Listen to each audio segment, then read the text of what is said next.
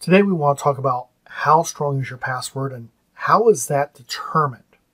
Well, there's a couple things you need to know. The basic way that we determine how complex a password is is determined by the number of possible characters you have and the length of the password.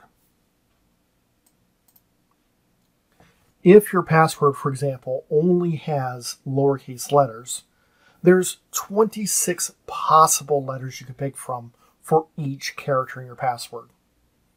We'll then raise this to the number of characters that are in your password.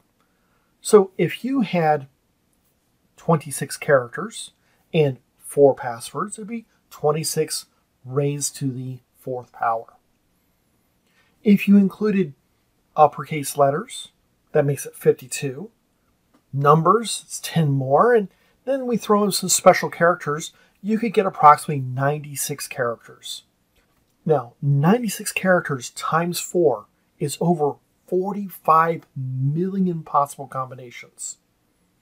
If someone were to just start typing in AAAA, AAAB, etc., that would take them 45 million times before they hit every possible combination. You might think, well, that's pretty strong. Until you realize that in 2020, the expected computer power that a hacker would use, it would take him less than a day to work through every possible combination. So, how do we make a password strong? Well, the key is actually not in the complexity, it's in the length.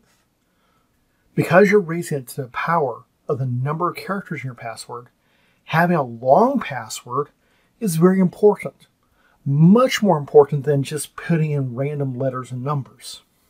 Let's take a couple examples just to see what we mean. Here's the word password. Now, you would never want to use this as your actual password, despite the fact it is actually in the top 100 most commonly used passwords. And that's a different story. So I'm going to copy this and put this into my password tester. And when I put in password, you'll notice it's expected to take zero days to crack, despite the fact that there's over 208 billion combinations. That's just because I had all lowercase. Now, let's try password with a capital letter and a special character. Now, making those two letter changes, we went from taking zero days to crack all the way up to 96 years.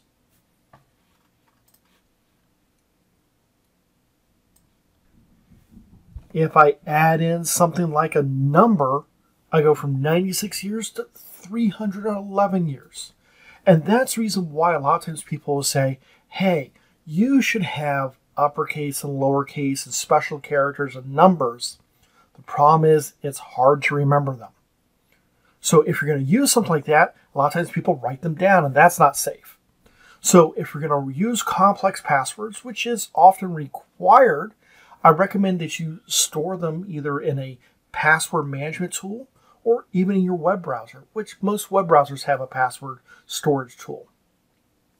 But let's look at what an all lowercase one will be.